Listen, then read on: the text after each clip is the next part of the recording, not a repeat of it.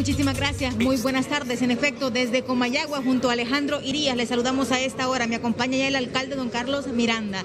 Y es el hecho de la importancia que tiene la celebración y la llegada de los pliegos de independencia, que se conmemora este 28 de septiembre.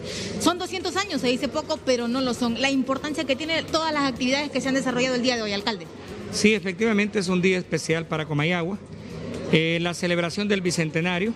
Comayagua eh, siempre fue una ciudad protagonista eh, desde antes de la independencia, en la época de la colonia, como también en la época de la República.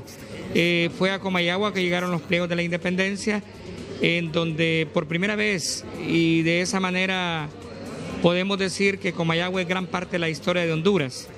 200 años de vida republicana que han transcurrido. Eh, el país eh, ha podido construir su propio destino, pero la historia está ahí. La historia está en Comayagua, la historia es para Honduras.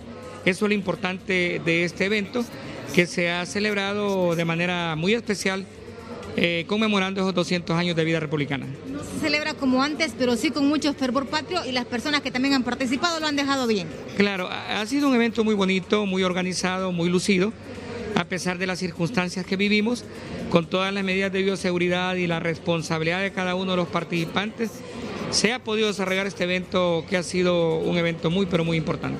Muchísimas gracias al señor Miranda, alcalde de Comayagua, con nosotros a esta hora con esta importante información y su conclusión respecto a todos los eventos que se han desarrollado el día de hoy desde horas de la mañana. Junto a Alejandro Urias, con ustedes nuevamente, compañeros, muy buenas tardes.